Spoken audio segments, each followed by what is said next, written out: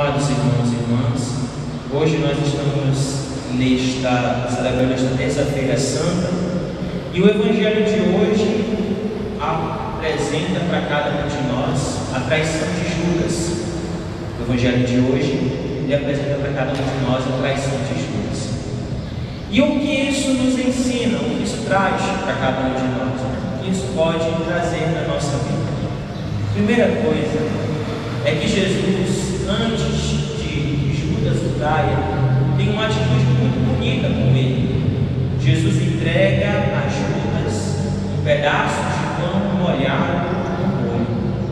Essa atitude é a atitude da ceia, da ceia que eles estavam celebrando, a ceia judaica. E nessa hora, Jesus está dizendo para Judas, dizendo para ele, Judas, ainda dá tempo de não fazer o que queres fazer. Ainda dá tempo de você se abrir ao meu. Ainda dá tempo. Porém, ele não fez isso. Né? Ele não se abriu a esta graça e a este perdão de Deus. Por isso é muito importante nós entendermos isso também na nossa vida. Que Deus ele sempre vai ficar dando a oportunidade para cada um de nós. Vai, vai sempre ficar procurando com que nós olhemos para Ele com que a gente possa se arrepender e voltar o nosso olhar para o Senhor. Isso é essencial na nossa vida de cristão. Ontem nós, nós falávamos, nós celebrávamos como Jesus teve os seus pés ungidos. Seus pés foram ungidos por Maria. E a casa inteira ficou cheia de perfume. Hoje, os pés daquele daquele homem que teve os pés ungidos, inicia-se o seu caminho do Calvário. Amados irmãos e irmãs, é muito importante nós entendermos isso quando Jesus, quando ele recebe o pedaço de pão, então diz o que? Satanás entrou em Judas. E ele se levanta dali e vai trair Jesus. Outra coisa muito importante para nós olharmos para o evangelho de hoje é para Simão Pedro.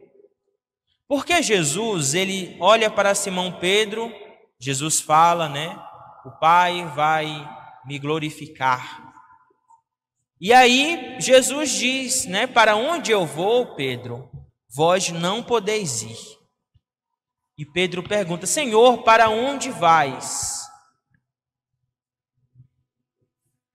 Quando Jesus fala que Pedro não pode ir para onde ele vai agora, então Pedro diz: Senhor, por que não posso seguir-te agora? Eu darei a minha vida por ti. E Jesus olha para Pedro e diz: Pedro, tu vai dar a tua vida por mim? Pois eu te digo que o galo não cantará antes de ter me negado três vezes. E muitas das vezes nós também somos assim, amados irmãos e irmãs. Muitas das vezes a gente da boca para fora pode falar isso para Jesus: Senhor, eu daria minha vida por ti.